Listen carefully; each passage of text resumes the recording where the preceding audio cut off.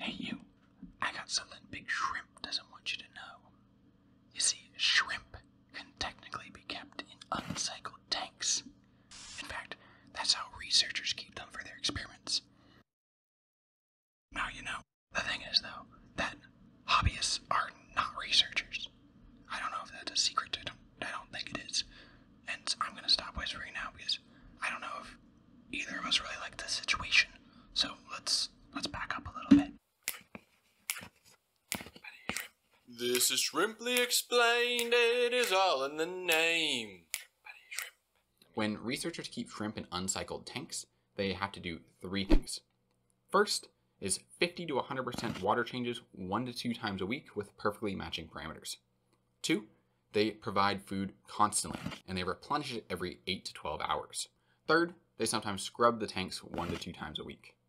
Researchers do all of these things because they want the most controlled environment possible for all of their experiments. This avoids any confounding factors in bacterial or microbial colonies that might develop between the different tanks. Most hobbyists have an entirely different goal, which is to keep healthy shrimp as cheaply and easily as possible. To do that, we need to establish a healthy ecosystem that lets nature take care of as much of the waste breakdown, water filtration, and feeding as possible. By doing that, we significantly reduce the amount of time and money it takes to maintain our shrimp tanks.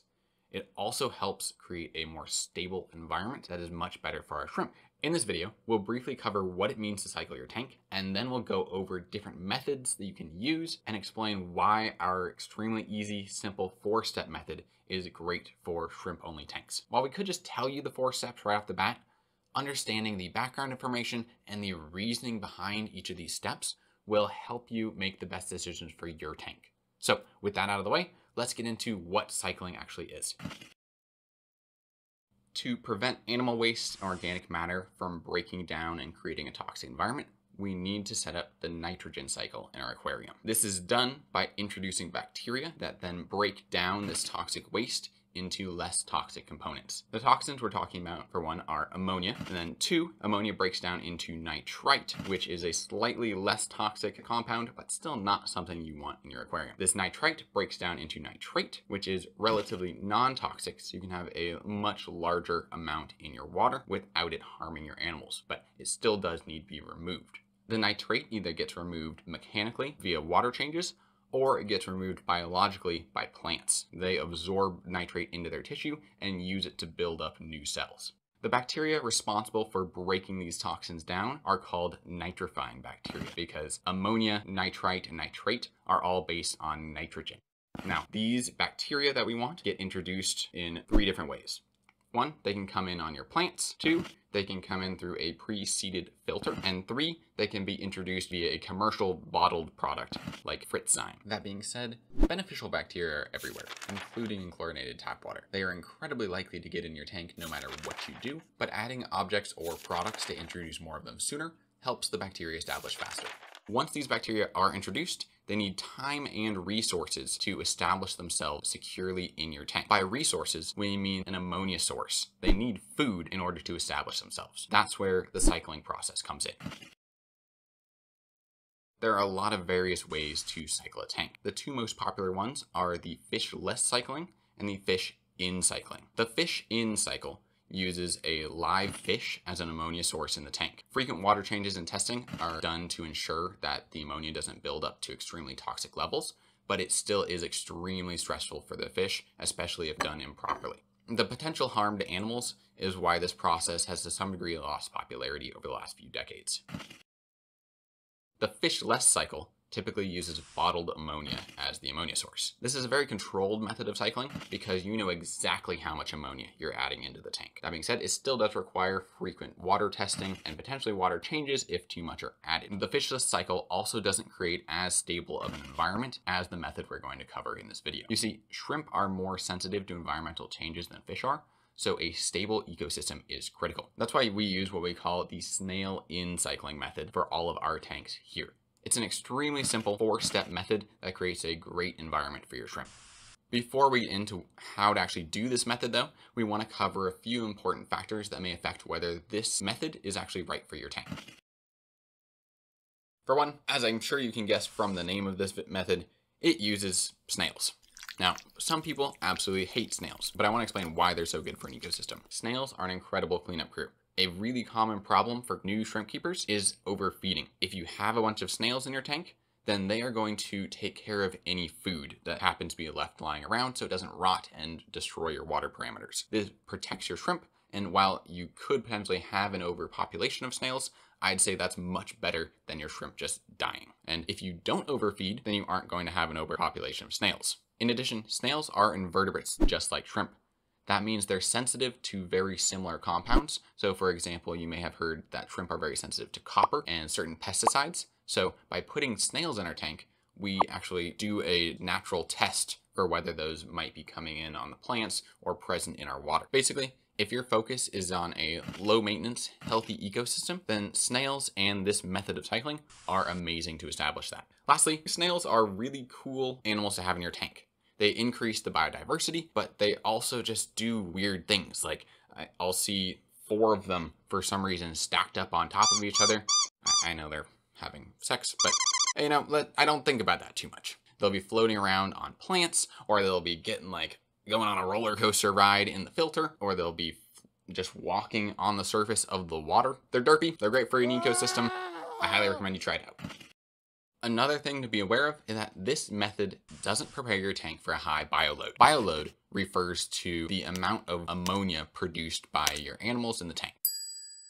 If your tank is not prepared for a high bioload, then adding in too many animals at once may overload the bacteria and plants that are currently there and cause a cycle crash and ammonia spike. Most shrimp tanks have an extremely low bioload. Just know that if you're planning to put in 100 shrimp in, immediately into a 10 gallon tank, or if you're planning to put in a bunch of fish into that same tank, then this method might not be for you and you should probably opt for the fishless cycle. To explain why these methods differ, let me give you a little analogy.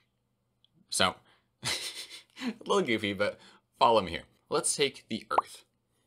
All of the plants and organisms on it are used to a certain amount of sunlight coming in. The plants use it to create energy via photosynthesis, and then other organisms consume that energy.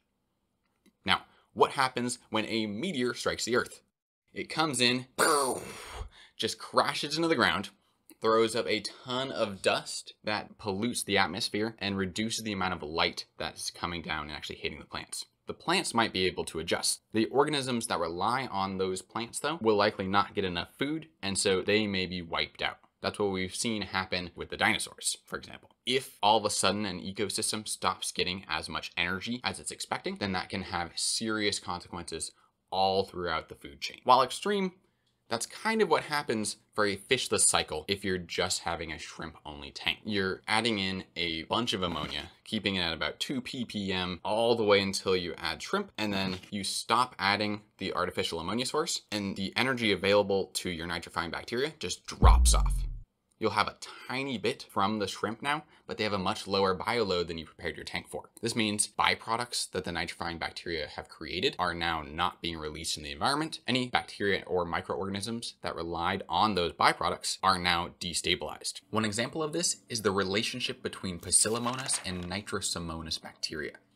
The Nitrosomonas release pyruvate as they break down ammonia, which the Poecilomonas uses in its metabolic system. If that pyruvate is no longer being made, then the Poecilomonas population needs to adjust to that change. The same thing is true for plants and when they no longer have the same amount of ammonia. So you're kind of almost resetting your tank right at the same time that you want to be adding shrimp and when you want it to be the most stable. The snail in method is different because what it does is immediately put the snails into the tank, let them establish and eventually grow their population to whatever food is available in the tank and whatever you're putting in. That way, there's a very set and stable bioload. So when you do finally put shrimp into your tank, there may be a slight increase. It's very easy for your tank to handle. Again, this is assuming you aren't adding a ton of shrimp per gallon at a time. Don't do that and you're going to be good. If you have any questions or if I haven't convinced you that this next method is going to be potentially better for your ecosystem, then leave a comment down below. I'd love to chat with other hobbyists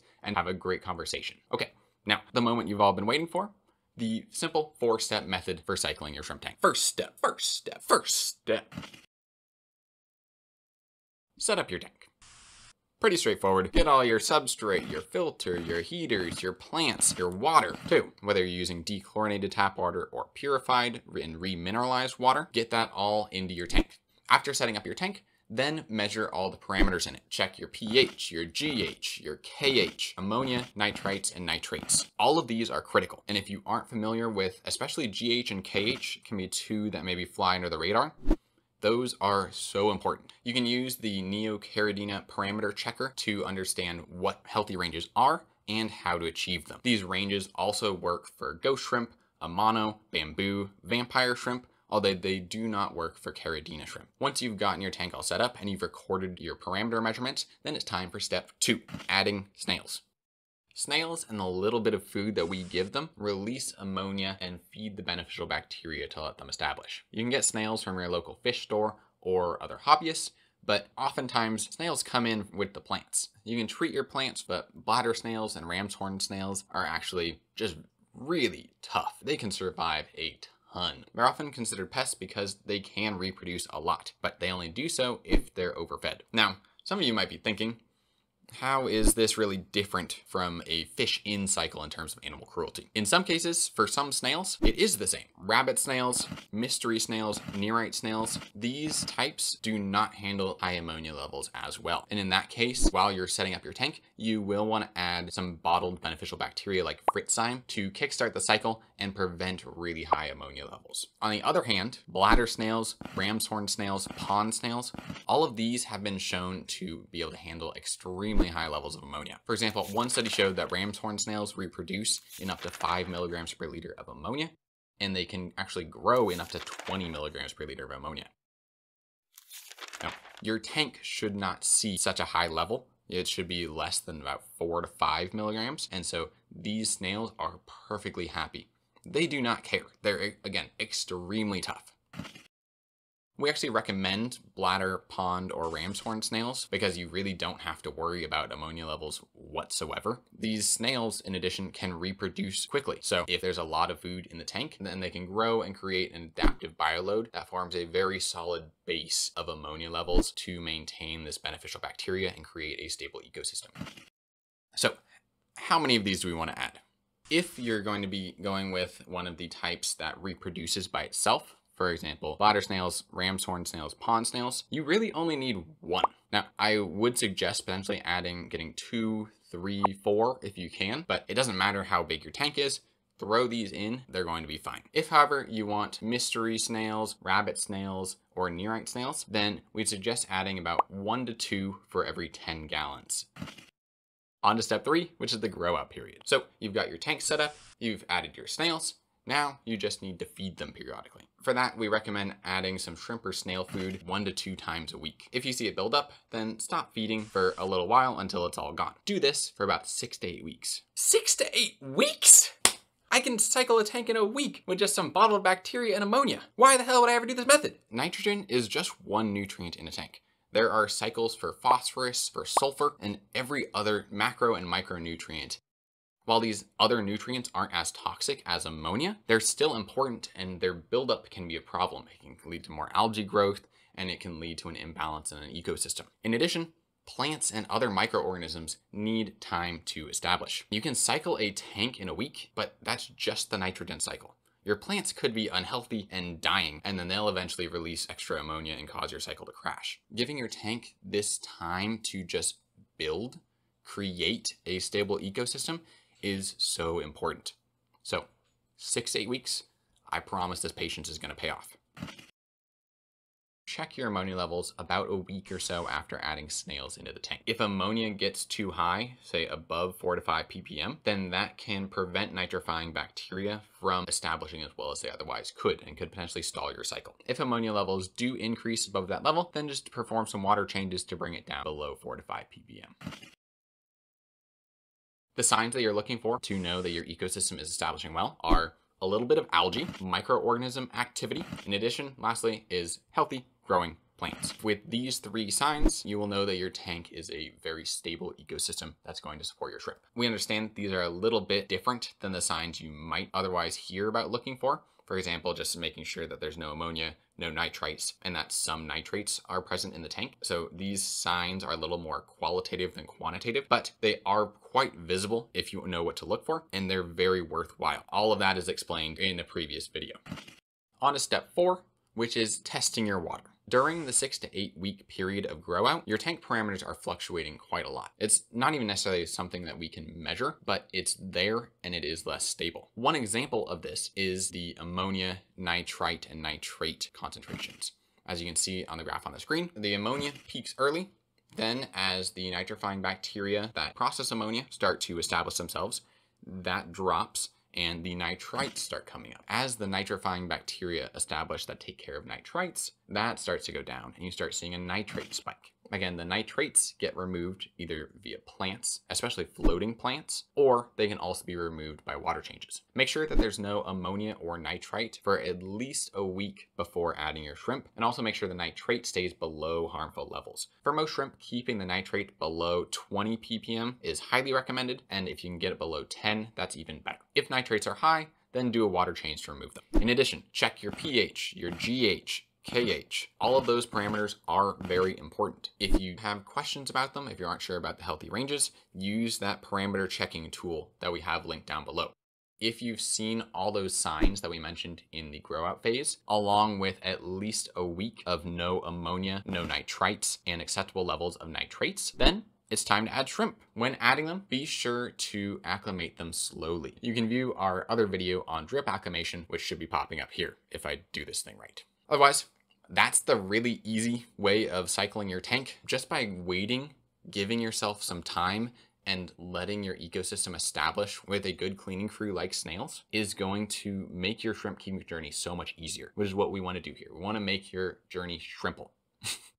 so if you like that sort of thing, then hey, subscribe to the channel, support us. We'd absolutely love to have you. If you want to talk about anything, please leave that in the description below. If you want to read and learn more about shrimp, then feel free to head on over to shrimplyexplained.com where we've got a bunch of resources for you. Otherwise, that's it. Thank you so much for watching, and I hope you have a great rest of your day.